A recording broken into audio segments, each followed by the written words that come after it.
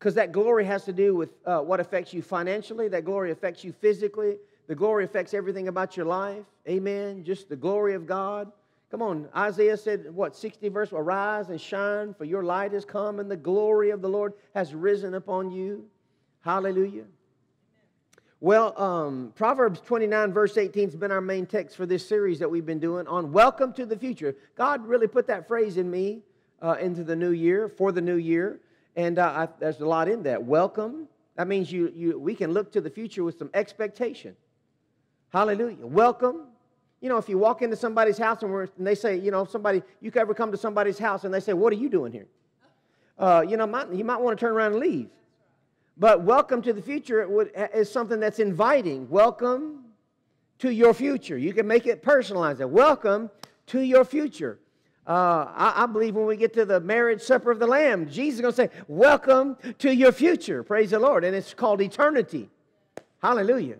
So, Proverbs 29, verse 18, tells us where there is no vision, where there's no vision for the future, there is no revelation of God's word, the people perish. But happy is he who keeps the law. Look at your neighbor, see if they've been keeping the law. Hallelujah. They, or, or, you know, if you people people that are happy, you know, they've been keeping something because God's word will bless you and help you. But just remember, you were created for a future, not your past. We're created for a future, and so you don't want to get bogged down. You want to look back. You know, if you're ever looking back, it's just because you want to remember some good things. You never want to uh, look back and, you know, the bad or even the good old days. There are no good old days. I like what somebody asked Norman Vincent Peale. He was 80 years old. Norman Vincent Peale wrote The Power of Positive Thinking. And uh, somebody at 80 years old, somebody said, What was your best 10 years? He said, They haven't happened yet. Best 10 years. They haven't happened yet. He's 80. Praise the Lord. Uh, actually, oh, our Wednesday night service, Pastor uh, Hank and Pastor Mark's son Aaron spoke Wednesday night, and he gave out a statistic that I'd heard, but he said actually, people are the most productive between 60 and 70. The most productive years, listen, listen, the most productive years, fruitful years, are 60 to 70. The second most productive years, listen, were 70 to 80. Come on now. Most people start retiring, thinking about quitting. Right? And then I think, and then after that, I think it was third was like 40 to 50. So praise God. Amen. I'm fixing to turn 59. I hadn't even hit my best years yet. Woo, Jesus tarries. Come on now. So think about it. You're created for a future, not your past. And if the present satisfied you, then you would be at the end. You haven't hit the end.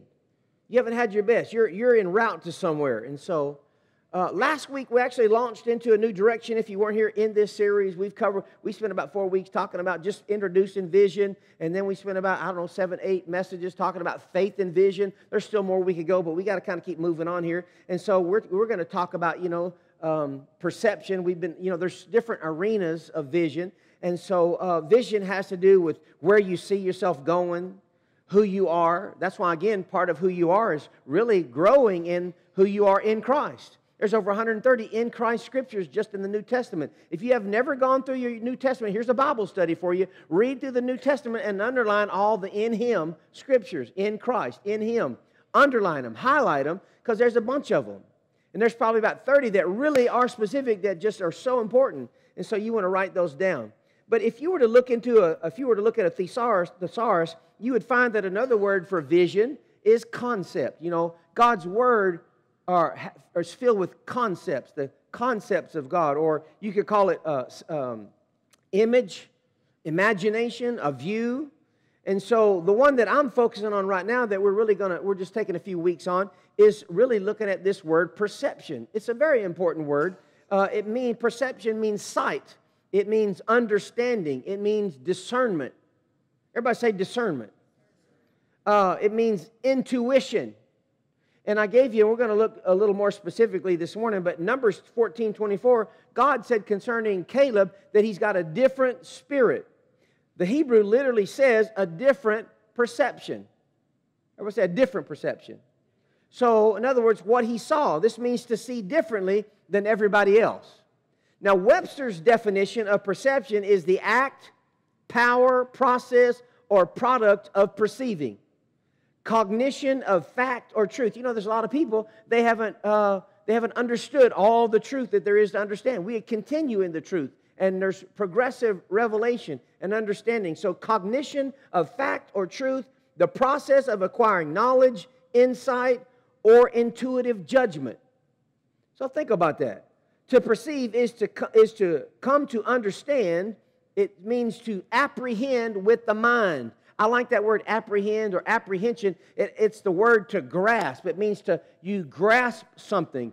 And that's what we do with the Word of God. We are to take hold of the Word. We hold fast to the Word, hold fast to our confession. The best way to learn something, get a hold of something, is start confessing it. Take that promise. You may not understand all of it, how it works, but you begin to confess that Word. And you grab hold of that Word and you hold fast to it because, or those promises of God. There's a lot of promises. Praise God. So, um, some synonyms of perception are judgment. Think about that. Understanding. Well, we want understanding. The fear of the Lord is beginning of knowledge, beginning of wisdom, and knowledge of the Holy One is understanding. So we want understanding.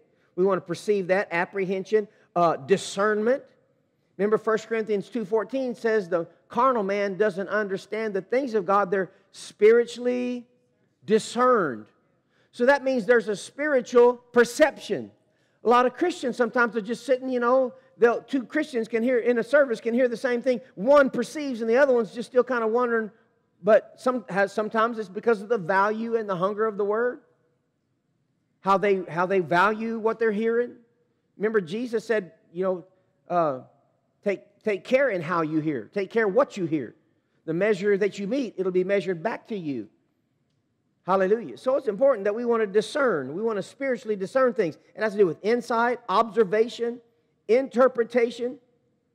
So really, we need to, we want to ask God uh, to show us his perspective. I believe that's what wisdom is. I always ask God, Lord, wisdom is seeing things from God's point of view. So, Lord, what's your perspective? How do you see what? Everything. Lord, what do you, because, you know, it has to do with how you see, how God sees people. You know, God can see someone a totally different way than you see somebody. Praise the Lord. And so we want to see people, we want to see situations, we want to see circumstances the way God sees it. Sometimes we're looking at a circumstance, and the circumstance on the outside or what we see, we might think it's the end, but God says, oh, that's not the end. Hallelujah. What the devil meant for bad, I take and use for my glory and my good. Hallelujah. So, God's greatest, really, limitation from Him working big in me and through me is our perception. Really, it's our faith, it's our believing, it's our expectation. The Bible says over in Psalm 78, Psalm 78, verse 40 and 42, it says concerning the children of Israel that they limited the Holy One of Israel. Can you limit God? Well, they limited him based on their perception, based on their believing. And so, really, this is really still an aspect of faith. But, you know, again, when we ask God to show us his perspective, you have to keep in mind, really, in one form, one way he already has, and that's through his word. God's word shows us his perspective. God's word tells us how to live. It's the map that we talked about last week. And so I gave you my candy illustration last week. If you didn't hear that or you haven't heard that, where I, you know the Lord really um, showed me that I was treating Him the way my kids had done when we went to the candy store. I was ready to bless them and give them everything that I had, you know to the the best of my ability. And so God has so much more that He wants to do for us. And so we talked about that. And then again, keep in mind what God sees and what we see are always two different things. That's why Isaiah 50 says, Your thoughts are not as my thoughts, your ways are not as my ways, so I gave you my word. So we can come up higher. Amen. And so, really, it's like the difference between uh, if you've raised children before, it's the difference between what your 10 year old see and what you see as a parent. How I many know that can be a big perspective? Sometimes what you're, even what a teenager sees and what you see are totally different. You know, when you're raising kids, they don't see like they, they think they, they think they know. They think their perception is right, is right on 100%. It's not. So even, in our, even as adults, we can look at a situation and we have to ask God, that, well, back up. That's why Proverbs 3 5 says, Acknowledge him in all your ways, and he will direct your path. Because God has a way of seeing things, and we want to get his perspective. And so we actually explained what a paradigm is, and I gave you a powerful illustration last week. Go back and watch that message uh, if you didn't get a chance, if you weren't here, if you didn't get a chance to see it, because to really, uh, you know, a paradigm really becomes a way of we've been conditioned to think a certain way.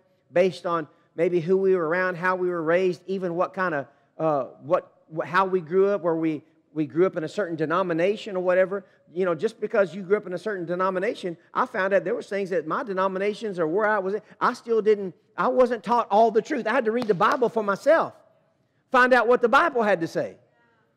Because sometimes people bounce around or they're really good in certain things and then we want to cover. That's why we went all the way through the Bible last year. We looked at Jesus in every book of the Bible last year on Wednesday nights. That was fun. Praise God. And so we explain that paradigm. And, simply, a paradigm is how we think. It's how you think on a regular It's when you go to work, how you're thinking at work, how you see life, how you're perceiving what's going on around you. It's the way we think. And so the most powerful biblical illustration of perception and vision that I can really think of that scripturally really is the children of Israel.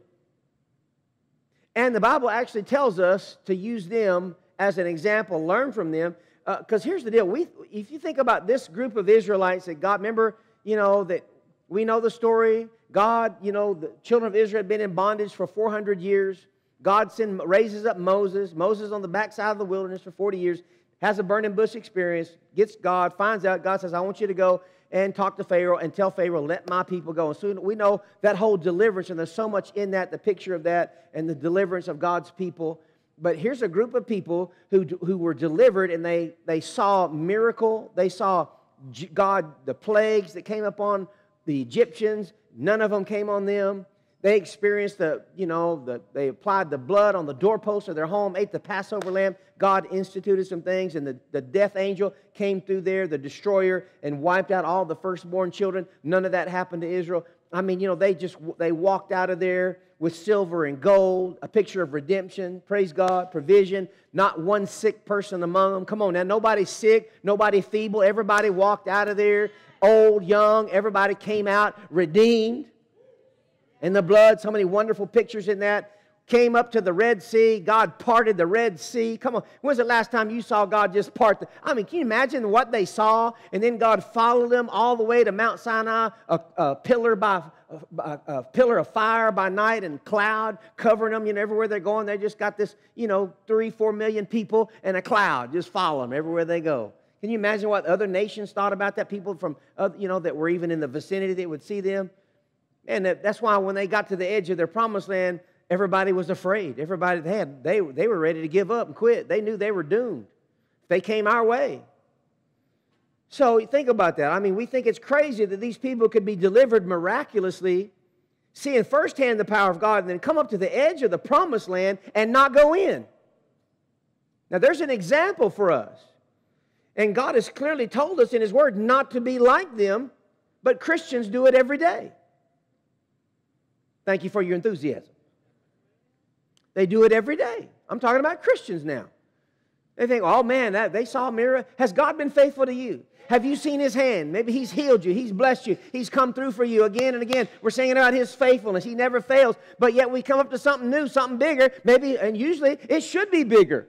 I mean, if you already whipped something, you know, new level, new devil, Joyce Meyer said.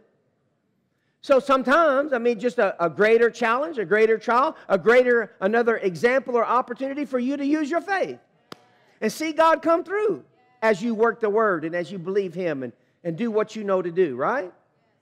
So God tells us not to be like them. Now, there's, uh, I won't look at both these, tra- uh, but up in 1 Corinthians chapter 10, verse 1 through 11, we're told some things that they did, don't do what they did. But I want us to look at where specifically along these lines in Hebrews chapter 3, Hope you don't mind reading a little scripture this morning because we're going to look at we're going to look in detail at this story. We're just going to walk through it. Hallelujah. But Hebrews chapter 3 verse 7 actually beginning in verse 12, Hebrews 3 12. Look at what again God says don't be like them. Two different examples, 1 Corinthians 10 and then here in Hebrews he says these, this is an example for us as New Testament believers. Actually, if you're going over to Hebrews 9, on, upon whom the ends of the ages have come. So, several references, but he says in verse 12, Take care, brethren, that there be not in any of you an evil, unbelieving heart that falls away from the living God. Can you fall away from the living God? He's writing to believers here. Can you fall away from God? Well, Paul writing to Timothy said in the last days, people, they'll be falling away. There, there's like a gradually drifting away, falling away from the faith. I didn't ever want to believe that for a long time because I'm a word of faith guy. Everybody likes to think, well, man, we're going to have revival at the end, right here before Jesus comes. That's not New Testament. I said there's nothing in the New Testament, there's nothing in the Bible that teaches that. Now the Bible talks about a continued harvest, but we've been, we've, been, we've been in harvest since Jesus came. Lift up your eyes, look on the fields, they're white for harvest. Pray to the Lord of harvest and send forth laborers. And, and the gospel has gone around the world. But during the tribulation, there's going to be a harvest. When angels come back at the end, angels are going to reap the harvest. Praise the Lord. So, but there's nothing, actually, the Bible teaches, and Timothy, Paul said in Timothy, and then in Second Thessalonians, right before the Lord, right before when we are raptured out of here, some of these signs is, is people will fall away from the faith. You know, people aren't as hungry today as they used to be. I mean, churches aren't as full. I mean, you just talk to pastors, and every, even since COVID, people are not attending church like they used to. It's kind of like they just kind of got this lull and this lethargy, this kind of a, I don't know, maybe even a, a premillennial fog or something, you know? It's like, but, the, but we do have to wake up. But, you know, it's just kind of like people are busy and, and you, you know, it's just end time stuff. But he said, take care. Take care. In other words, that's something we do, brethren, that there be in any one of you an evil, unbelieving heart, falls away, falling away from the living God. But encourage one another day after day. Isn't it interesting? He tells us in Hebrews several times, encourage one another. Be in church when the doors are open. Encourage one another to love and to good deeds. As long as it is still called today, so that none of you will be hardened by the deceitfulness of sin. That's the reason you got to stay in church. That's why the reason you got to stay stirred up, because sin hardens the heart. And that's what happens. People kind of get going and they start getting harder. And when you get harder in your heart, you just kind of get away further and further from spiritual discernment and the things of God. And you kind of start coasting and, well, you know, and you just kind of, and then you, and the deceitfulness of riches and the lust for other things creeps in and it chokes out the word. And now you're not fulfilling and stepping into the promises that God has for you and wondering what's going on. And just, anyway. So, Verse 14, for we have become partakers of Christ. Come on, say, I'm a partaker of Christ. If we, if, did you see if? You ever seen that word if? You're a partaker of Christ if we hold fast the beginning of our assurance firm until the end. You know, Hebrews talks about that quite a bit. You got to hold fast to some stuff. That's your responsibility. That's our responsibility. Verse 15, while it is said, Today, if you hear his voice, do not harden your hearts, as when they provoke me. Now, God's shifting this thing. Now, listen to this. Did they hear God's voice? Woo, man, they were at Mount Sinai, and God spoke from the fire and the cloud. God spoke to them, gave them instruction. They were, it's, it, it, it almost made them wet their pants. They said, Moses, we don't, you go, you talk to God. We don't want to go talk to, we don't want to talk to you, talk to God. Man, they were afraid. But that wasn't God's intention. They, did, they didn't, you know, anyway. Verse 16. For who provoked him when they heard? Indeed, did not all those who come out of, came out of Egypt led by Moses? And with whom was he angry for 40 years? You don't want God angry with you. You hear me? What is it that God doesn't like? God does not like unbelief. Are you here? Let's keep, I'm going to throw that out there. So, eh, he was angry for 40 years. Was it not with those who sinned, whose bodies fell in the wilderness? Verse 18. And to whom did he swear that they would not enter his rest? Everybody say rest. What's, what's the final aspect of faith? Rest.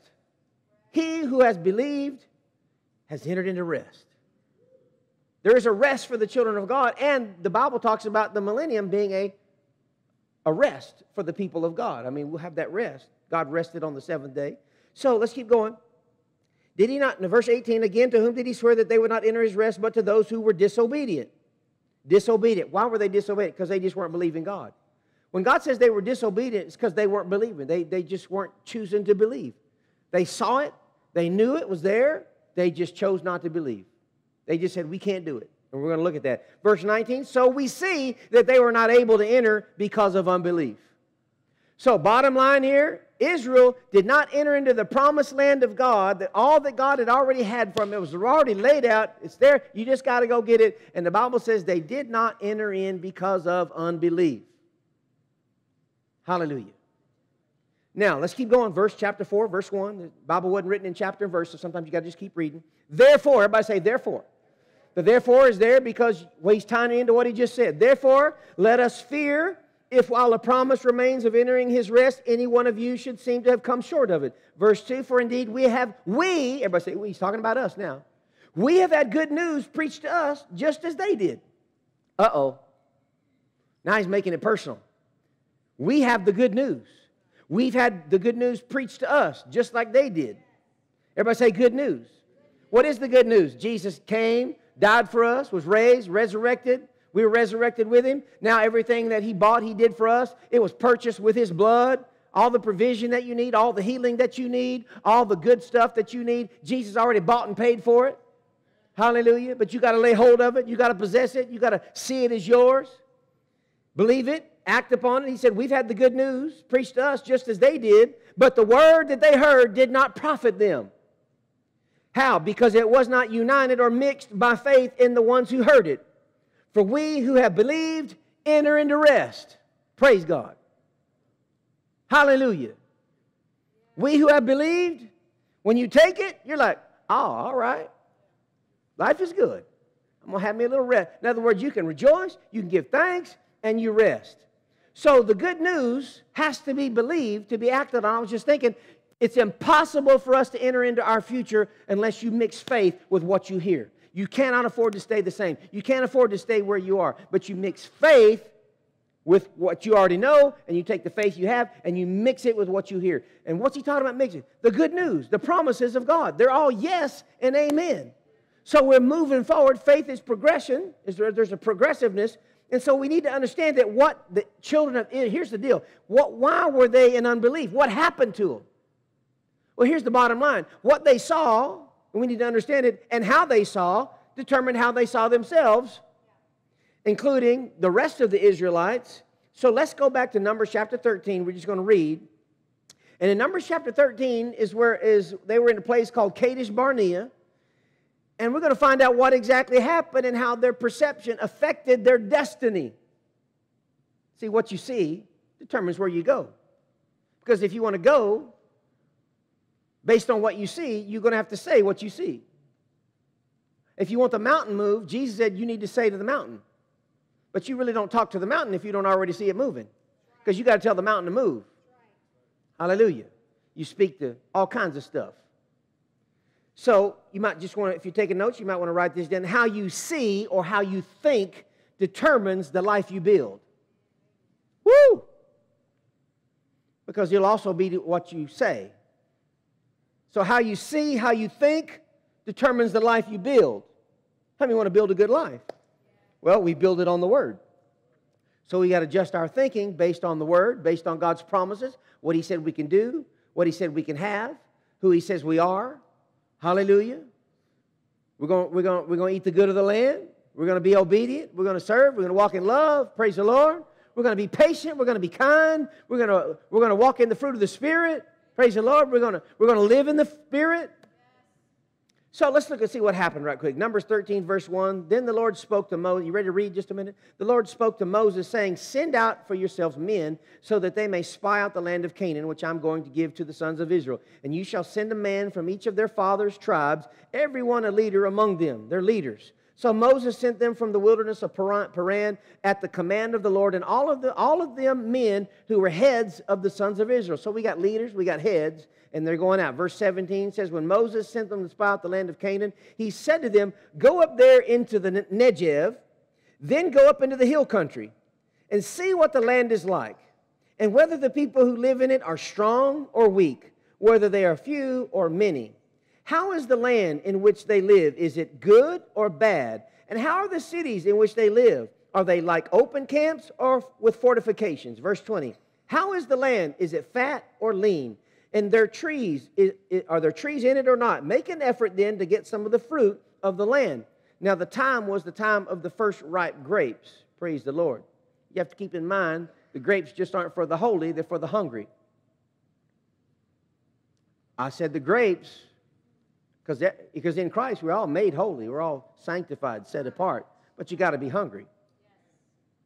You got to possess with your faith. Verse 21 So they went up and spied out the land from the wilderness of Zin as far as Rehob at Lebo Hamath. When they had gone into the, into the Negev, they came to Hebron, where Ahiman, Sheshai, and Talmai and the descendants of Anak were there. That's where they saw the giants. That's where Caleb said, Woo, I see some boys going down around here. This looks like a really nice place. Can you imagine the giants had the best part? Caleb said, I'm going to take like candy from a baby right here. Hallelujah. Now, Hebron was built seven years before Zoan in Egypt. Verse 23. Then they came to the valley of Eshcol, and from there they cut down a branch, listen, with a single cluster of grapes, and they carried it on a pole between two men with some of the pomegranates and the figs. Can, now, now, have you ever bought a, have you ever gone to United or something, bought a cluster of grapes? You know, one cluster, that's a cluster. One stem with some grapes hanging on. They, they had to carry it on a pole. You talk about some nice grapes now. Hallelujah. They're bringing it in on a pole, carrying it. That's some big grapes, right? Hallelujah. How many know God, when He says, I'll, I'll give you a land flowing milk and honey, man, it was good. I mean, we're talking some grapes. I'd like to see one of those grapes. Man, I've, I've actually been, I've seen some grapes, probably the biggest grape. I was actually in Estonia one time, and remember, we were in Estonia, and I bet these grapes, no kidding, those grapes were like, were like golf balls. I said, Where did these grapes come from? They said, Israel. That's the biggest grapes I ever saw. I mean, just amazing. Hallelujah. So notice verse 24 says that place was called the Valley of Eshcol because of the, because of the cluster. Because of the cluster which the sons of Israel cut down from there. In other words, it was impressive. Almost some grapes. Now, let's look at the spies' reports, verse 25. When they returned from spying out the land, and at the end of 40 days, they proceeded to come to Moses and Aaron and to all the congregation of the sons of Israel in the wilderness of Paran and Kadesh and they brought back word to them and, all, and to all the congregation and showed them the fruit of the land. In other words, look at these grapes. Hallelujah. Now, notice verse 27 Thus they told him and said, We went into the land where you sent us, and it certainly does flow with milk and honey, and this is the fruit. They're still talking about the grapes. Look, they said, Look, I mean, several, look at this fruit. Look at these grapes. Hallelujah. Verse 28, now watch this. Look, nevertheless, you got to watch out for that, nevertheless. In other words, there's a big but right here. You got to decide which side of the butt you're going to get on. When you got a circumstance, you got a big problem, you got a promise land, God's still giving you a direction, and you got, a, you got an option in front of you, you got a nevertheless, or you can say, you know, we're going with God here. Look at those grapes. You got to focus on the right thing. Nevertheless, the people who live in the land are strong, in other words, here we go. Here, here comes that report. They're strong, and the cities are fortified and very large. And moreover, we saw, everybody say, we saw. The descendants of Anak there, those, those are giants. Amalek is living in the land of the Negev and the Hittites and the Jebusites and the Amorites. They're living in the hill country, and the Canaanites are living in by the sea and by the side of the Jordan. Verse 30.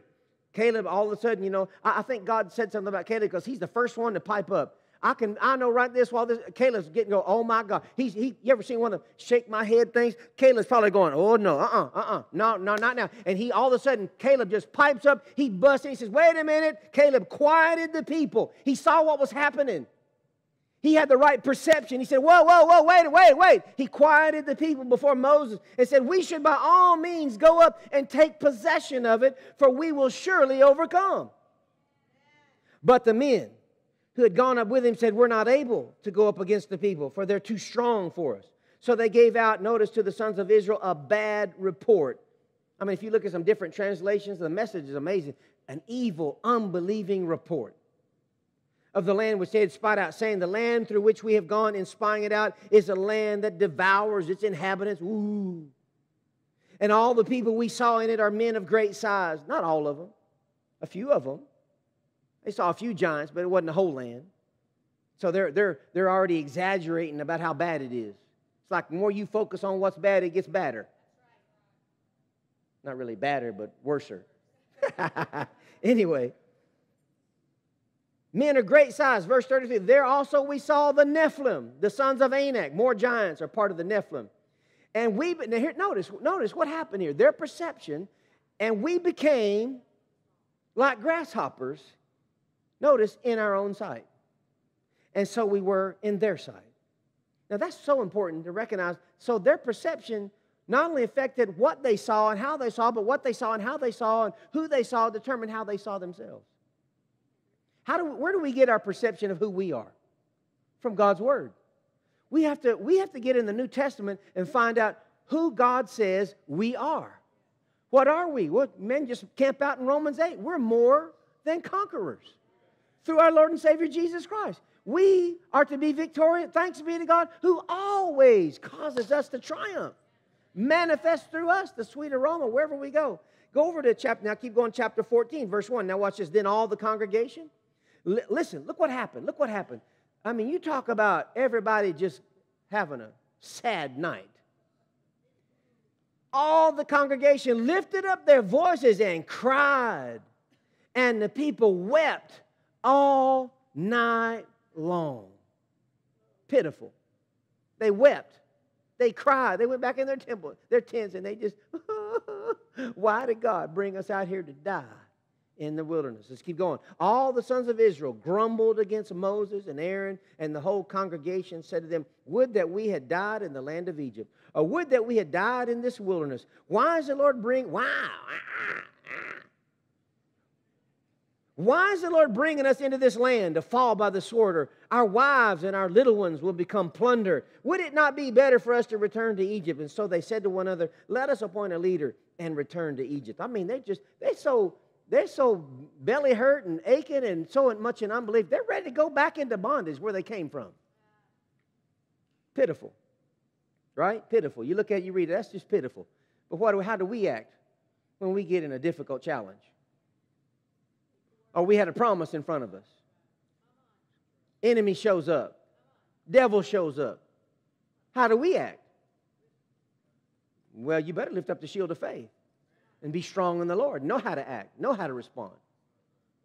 Then Moses and Aaron, notice what they fell on their faces in the presence of all the assembly of the congregation of the sons of Israel. Joshua, the son of Nun, and Caleb, the son of Jephunneh, of those who had spied out the land, tore their clothes. I mean, this is serious business here.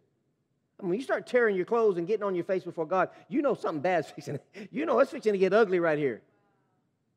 And they spoke to all the congregation of the sons of Israel, saying, The land which we possess, which we passed through to spy, is an exceedingly good land. If the Lord is pleased with us, now watch this, then he will bring us into this land and give it to us, a land which flows with milk and honey. Verse 9, only do not rebel against the What are they doing? They're rebelling against God. Don't rebel against the Lord and do not fear the people of the land. Now, watch this, for they will be our prey. Their protection has been removed from them, and the Lord is with us. Do not fear them. Listen, is God on our side? If God be for you, who can be against you?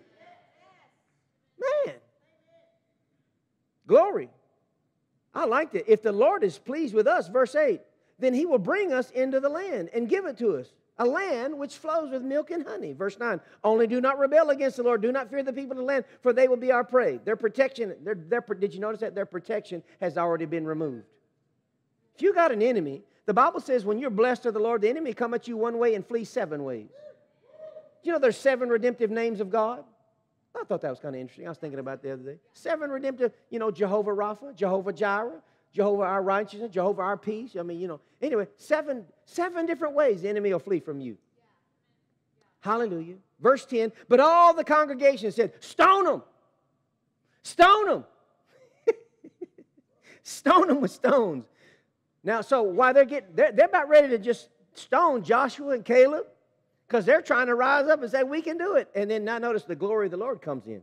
Then the glory of the Lord appeared in the tent meeting to all the sons of Israel. And the Lord said to Moses, How long will, I, will, I, will this people spurn me? And how long will they not believe in me, despite all the signs which I have performed in their midst? Now, God's reminding of all these different things. And He said, And I will smite them with pestilence and dispossess them, and I'll make you in the, into, a, into a nation greater and mightier than they. Well, that'd be kind of tempting if you're the leader. Just go ahead, Lord, just wipe them all out. We'll start fresh.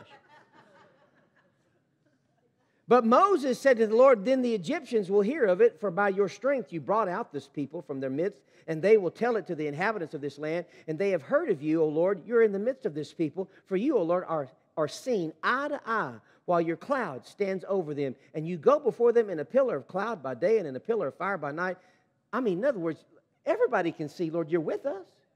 Everybody sees that.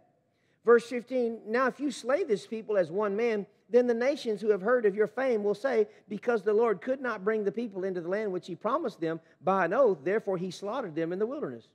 But now I pray, now notice he's interceding. I pray, let your power, let the power of the Lord be great, just as you have declared. The Lord is slow to anger, aren't you glad? And abundant in loving kindness, forgiving iniquity and transgression. But he will by no means clear the guilty, visiting the iniquity of the fathers on the children to the third and the fourth generations. You better pay attention to that. Visiting the iniquity of the fathers to the third and the fourth generation. That means the fathers, what you do has everything to do with what your kids are going to do. I mean, you get some things whipped and you make it easier for your kids. Hallelujah. You slay some devils in your life now and they won't have to deal with them. Praise the Lord. Take care of it now. But if you yield and you get whipped and overcome, your kids are going to have to deal with it. You get the victory, and your kids are just going even higher. Praise God. Verse 19, pardon, I pray, the iniquity of this people according to the greatness of your loving kindness, just as you also have forgiven this people from Egypt until now. The Lord pardons and rebukes. Verse 20, so the Lord said, I have pardoned them according, notice, to your word. I've heard you, Moses, and I'll pardon the people according to your word. But indeed, as I live, now watch this, all the earth will be filled with the glory of the Lord. Do you believe that? We're about to see that Haggai said that for the knowledge of the glory of the Lord is going to cover the earth as the waters cover the sea. Hallelujah. Verse 22 Surely all the men, now watch, now this is what God's going to do. He not, not everybody's getting off right here. They're leaders. Surely all the men who have seen my glory and my signs, which I performed in Egypt and in the wilderness, yet have put me to the test these 10 times. I mean, no, God takes count. He's count. He's, he's God's count. These 10 times and have not listened to my voice shall by no means see the land which I swore to their fathers, nor shall any of those who spurn me see it. But my servant Caleb, look, because he has had a different spirit and has followed me fully. That's that different perception. And he's followed me fully. I'll bring into the land which he entered, and his descendants shall take possession of it. Verse 25 Now the Amalekites and the Canaanites live in the valleys. Turn tomorrow and set out to, into the wilderness by the way of the Red Sea. Verse 26 The Lord spoke to Moses and Aaron, saying, How long shall I bear with this evil congregation who are grumbling against me? I've heard the complaints of the sons of Israel. God always inhabits the complaints. But the devil inhabits, God inhabits the praises, the devil inhabits the complaints which they are making against me. Say to them, As I live, says the Lord, just as you have spoken in my hearing, so will I surely do to you. Your corpse will fall, your corpses will fall in the wilderness, even all your numbered men according to your complete number from 20 years up and upward, and have that have grumbled against me. Verse 30. Surely, whoo, surely you shall not come into the land in which I swore to settle you, except Caleb, the son of Jephunneh, and Joshua, the son of Nun. Verse 31. Your children, however, whom you said would become a prey, I will bring them in, and they will know the land which you have rejected. They rejected it. They rejected God's promise. They just they wouldn't buy into it. So God's got to bring in the youth group now. Got to raise up the youth group. Going to bring them in. Verse 32, but as for you, your corpse will fall in the wilderness. Your sons shall be shepherds for 40 years in the wilderness, and they will suffer for your unfaithfulness. What? Kids suffering for the parents' unfaithfulness? God hadn't changed, people. All right, moving around. Tell y'all really excited about that one. I can't camp out too. I got, I got, I got to finish this right here. Man. Verse 35. Well, let's back up. Verse 33, you see it again. Your sons shall be shepherds for 40 years in the wilderness, and they will suffer for your unfaithfulness until your corpses lie in the wilderness. Verse 34. According to the number of the days which you spied out the land, 40 days for every day you shall bear your guilt a year, even 40 years, and you will know my opposition.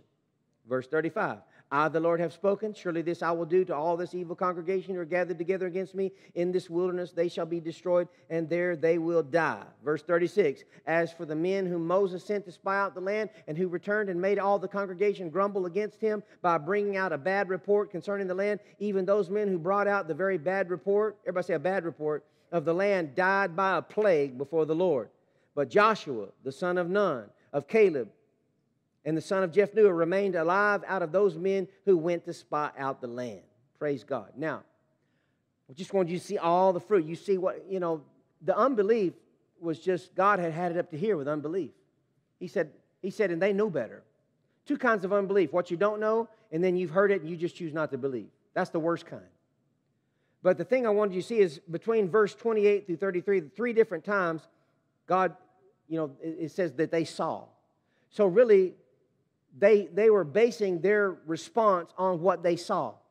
What they saw versus what God said. What they saw versus what God said. And we are told in the New Testament, 2 Corinthians 5 7, we walk by faith, not by sight. You got, it's important you keep that in mind. We walk by faith. In other words, we walk by what God says, not by what we see, not by what we feel. You got to put the right thing, you got to get the right map on the inside of you. It's always our responsibility to look at the right thing. That's called focusing. That's called staying, keeping your eyes on God's word. Staying focused. Look, keep looking in the mirror of God's word. Because what you see determines what you feel, and what you feel determines what grows on the inside of you. You're either growing that faith or you're growing doubt and unbelief. That's why you can examine yourself at times, and the Bible says, examine yourself, see if you're in the faith, and sometimes you got to go, ooh, uh, Lord, I need to make an adjustment right here, right now. Because without faith, it's impossible to please God. He that comes to God must believe that He is, right? And He's a rewarder of those who seek Him. Verse 33 powerfully reveals, they said, We became like grasshoppers in our own sight. That's how they saw themselves. It's called a grasshopper mentality. That's not the right mentality. See, we are clearly instructed in the New Testament to have a conquering mentality. Amen. A conquering mentality, a dominion mentality. We're more than conquerors. We've been blessed. We have dominion. We have authority over the devil. Praise the Lord. You understand what I'm saying? So we're clearly instructed to do that. And so, you know, as you see yourself, who you are in Christ, it's going to determine how people around you see you. If you feel defeated, act defeated, talk defeated, don't know who you are, everybody else is going to think you're defeated. Hallelujah. How you see yourself determines how you live and what you accomplish. So you have to start working on how you see you. That's why I'm going to do a supplemental. I got to finish up something Wednesday night, but we're going to do another supplemental on Wednesday night, and we're going to talk about thinking, thoughts, and imaginations because you got to wrap some things up here. So here's the thing. You know, eh, did you know the happiness? Happiness is feeling good about yourself. You know, you just kind of have a happiness on the inside. You feel good about yourself. Happiness is you liking you. Problem is, people like you and you don't like you. You got to like you. You got to be happy with you. You got to be at peace with God. And your heart's tender. And here's the bottom line, and I'm closing. You can never outperform your self portrait. You'll never outperform your self portrait, how you see you. Proverbs 23 7 says, As a man thinks in his heart, so is he. Hallelujah. So I said this, and I'm closed with this. We typically see things not as they are, but as we are, or as we're conditioned to see. So the word is so important, and we talked about that last week. As you begin to get it on the inside of you, it begins to change how you see yourself.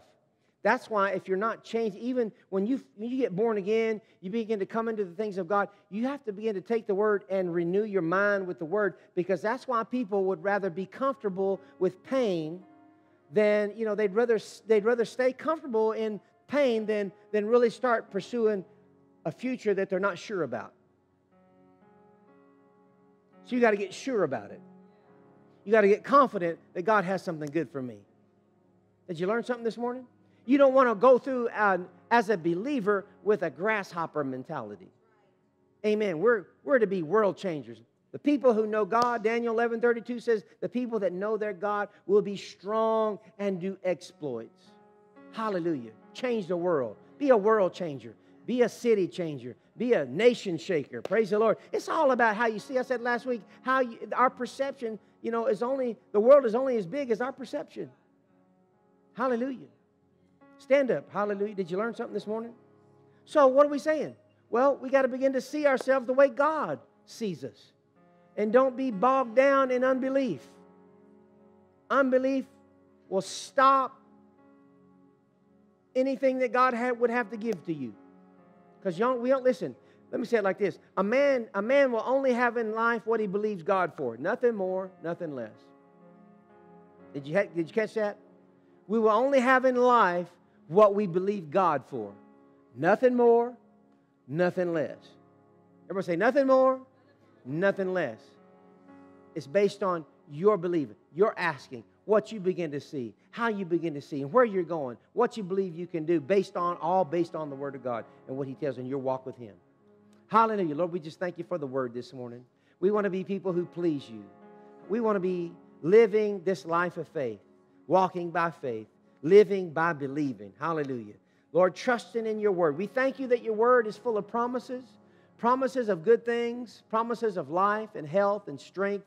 Hallelujah. We're not, uh, hallelujah, we're not like the world. We're not of the world. We're focused on you. And Lord, we thank you that there's nothing that you withhold from us. You gave us your best. You gave us your son, Jesus. So it's all about us just stirring ourselves up. Hallelujah. Possessing those promises, laying hold of them on the inside, seeing who we are.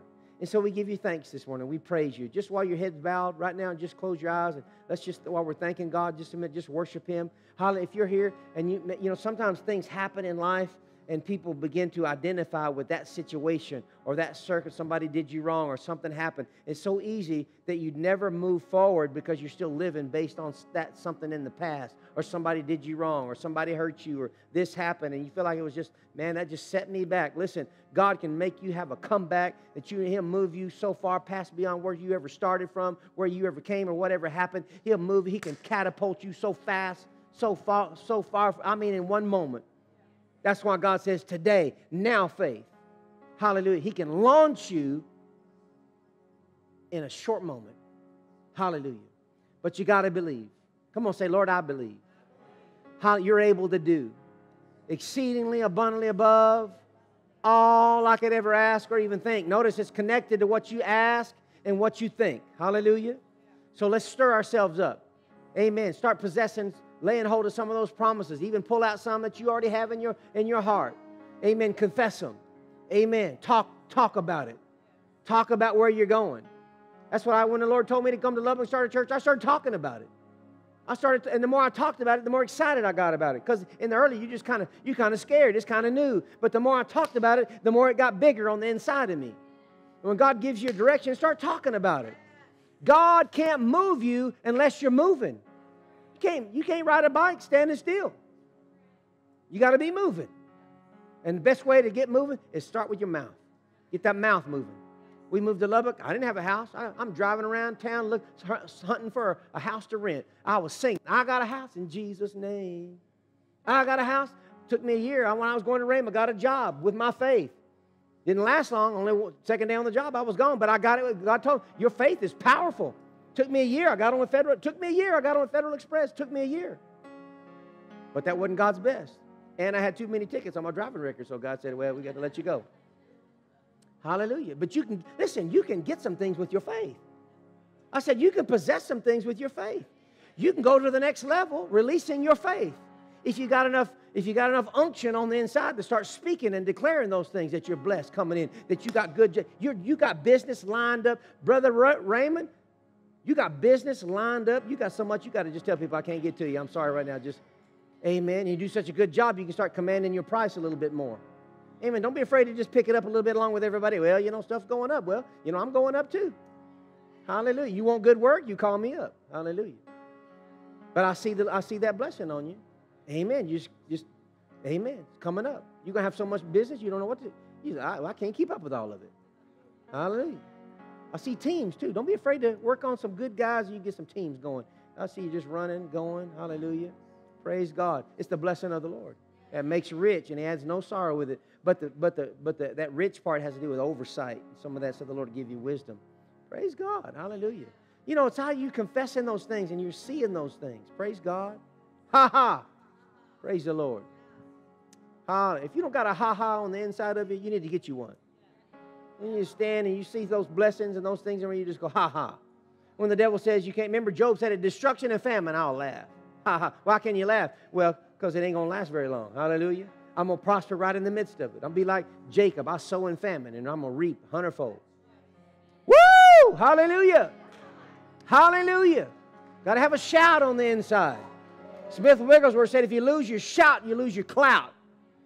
Got that promise. Hallelujah. It's mine. Hallelujah. I'm a possessor. Praise God. Glory. Well, I went over. but it was worth it. Hallelujah.